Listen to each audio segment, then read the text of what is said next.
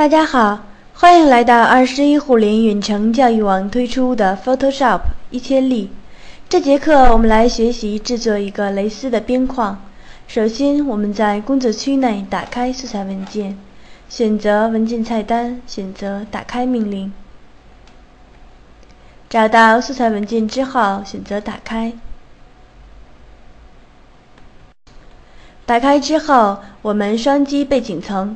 使其变成可编辑的图层，图层零，点击确定。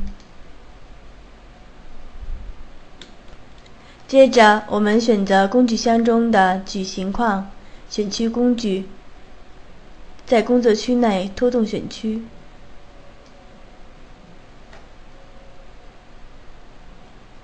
拖动的选区要比图片需少一些。按快捷键 Ctrl Shift 加 I 进行反选，选择工具箱中的快速蒙版按钮，进入快速蒙版模式编辑。进入蒙版编辑之后，我们选择滤镜菜单，选择扭曲玻璃命令。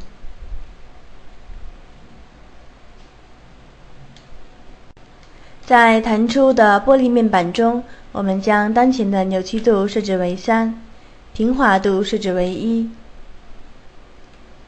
将纹纹理设置为小镜头，将当前的缩放设置为一百五十，点击确定。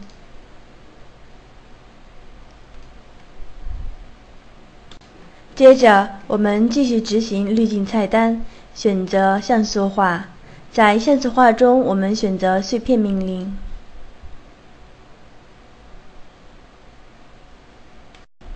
再次点击滤镜菜单，在滤镜菜单中，我们选择锐化。按快捷键 Ctrl 加 F，重复执行上一次的操作，进行锐化三次。设置完成之后，我们单击工具箱中的以标准模式编辑按钮，或者是按住快快捷键 Q，退出当前的蒙版编辑状态。按住键盘上的快捷键 Delete 进行删除。删除完成之后，我们按快捷键 Ctrl Shift 加 I 进行反选，选择编辑菜单，选择描边命令。在描边之前，我们先调整当前的前景色。我们将当前的前景色设置为粉红色。设置完成之后，点击确定。接着，我们选择编辑菜单，选择描边命令。在弹出的描边面板中，我们将宽度设置为四。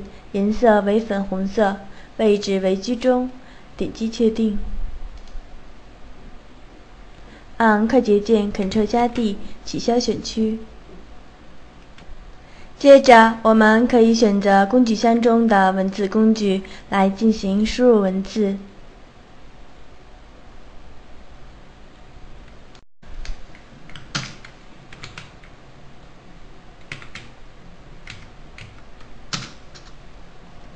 输入完成之后，调节当前文字的大小。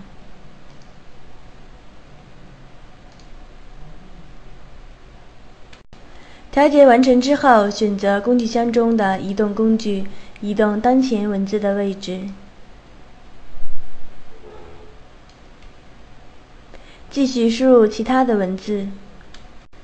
输入完成文字之后，这张照片我们就处理完成了。感谢您观看二十一互联远程教育网的课程，再见。